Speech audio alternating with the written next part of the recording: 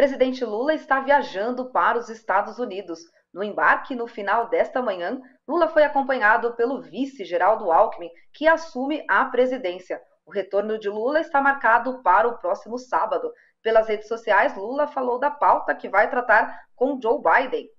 Bom dia, hoje embarco aos Estados Unidos, onde me reunirei com o presidente Joe Biden na Casa Branca. Queremos construir relações de parceria e crescimento entre os nossos países, pelo desenvolvimento da nossa região, debater ações pela paz no mundo e contra as fake news.